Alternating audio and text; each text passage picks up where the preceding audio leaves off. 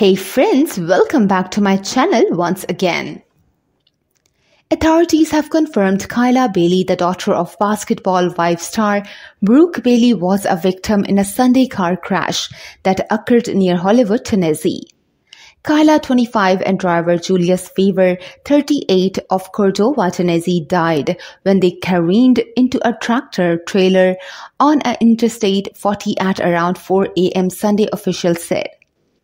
The Memphis Police Department said that the blue Mercedes-Benz S550 Kyla and Weaver were in was headed eastbound in on the highway when it struck with its front, the rear of which was stopped in the traffic lane due to crash at that location, according to a report obtained by WREG.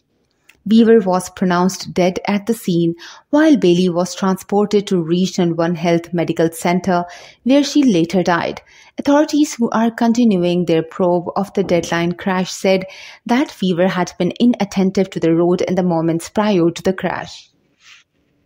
Brooke wife paid tribute to her daughter Kyla 25 Sunday in a heartfelt Instagram post along with a series of photographs. Forever My Baby, Pretty Black as known as Kyla Nicole Bailey. This is not a goodbye. Mommy will see you soon, Brooke wrote on Instagram. The reality TV star mourned her daughter in a series of Instagram stories and shared multiple tributes. Brooke wrote, My baby girl is so loved by all of you. The love and support my family has received today is unreal and so appreciated.